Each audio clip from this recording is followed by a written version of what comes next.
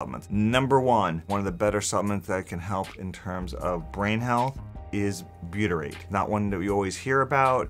It may not be as fancy as cool, some of the ones that people talk about all the time, but it works. It's something that is derived from the gut. A, it helps with small chain fatty acids. We now know one because of the gut brain axis. That's the connection between the fascia, the lymphatic drainage, with vagus nerve, which goes from the brain into the gut. There is a cross-talking, and you want to help regulate that. We know that butyrate, when your butyrate, butyrate levels are increased, it can increase brain function. It is something that you can take um, without with minimal side effects. It may cause a little bit of bloating, but otherwise it's something with, it's a medicine and something with very limited side effects. So something you definitely want to look into. The second supplement that we're going to talk about today is one of my favorites, a little harder to find, and it's something called cerebrolysin. Cerebrolysin has been used for years in Europe and now it's come over to the United States